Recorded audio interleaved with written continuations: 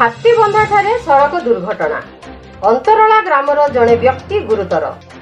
ନୂଆପଡ଼ା ଜିଲ୍ଲା ହାତୀବନ୍ଧାଠାରେ ଅନ୍ତରଳା ଗ୍ରାମର ଜଣେ ବ୍ୟକ୍ତିକୁ ଧକ୍କା ଦେଲା ବୁଲେର।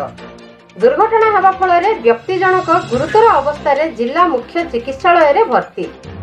ମିଳିଥିବା ସୂଚନା ଅନୁଯାୟୀ ଗୋଲାମୁଣ୍ଡା ବ୍ଲକ ନକ୍ଟିକାନି ଗ୍ରାମ ପଞ୍ଚାୟତ ଅନ୍ତରଳା ଗ୍ରାମର ଆବ୍ରତ ତେଜି ନୂଆପଡ଼ା ଜିଲ୍ଲା ହାତୀବନ୍ଧା ଗ୍ରାମକୁ ଅଦା କିଣିବାକୁ ଯାଇ ଏକ ଦୋକାନରେ ଅଦା କିଣୁଥିବା ବେଳେ ଏକ ଚାରିଚକିଆ ଜାହାନ ହଠାତ୍ ତାଙ୍କ ପଟକୁ ଆସି ଧକ୍କା ଦେଲା।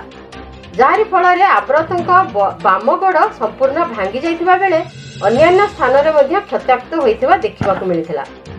ଦୁର୍ଘଟଣା ହେବାରୁ ଘଟଣାସ୍ଥଳକୁ ଅଞ୍ଚଳବାସୀ ପହଞ୍ଚି ତୁରନ୍ତ ଆମ୍ବୁଲାନ୍ସକୁ ଯୋଗାଯୋଗ କରିଥିବାରୁ ଆମ୍ବୁଲାନ୍ସ ଯୋଗେ ଗୁରୁତର ଆବ୍ରତଙ୍କୁ ପ୍ରଥମେ ଧରମଗଡ଼ ଉପଖଣ୍ଡ ଡାକ୍ତରଖାନାରେ ଚିକିତ୍ସିତ କରାଯାଇଥିଲା। କିନ୍ତୁ ଅଧିକ ଗୁରୁତର ଥିବାରୁ ତାଙ୍କୁ ଡାକ୍ତର ଜିଲ୍ଲା ମୁଖ୍ୟ ମୁଖ୍ୟ ଚିକିତ୍ସାଳୟକୁ ସ୍ଥାନାନ୍ତରିତ କରିଦେଇଥିଲେ। ଧରମଗଡ଼ ଉପଖଣ୍ଡରୁ ଶ୍ୟାମସୁନ୍ଦର ଅଗ୍ରୱାଲଙ୍କ ରିପୋର୍ଟ ଏକେଏନ୍ ନ୍ୟୁଜ୍।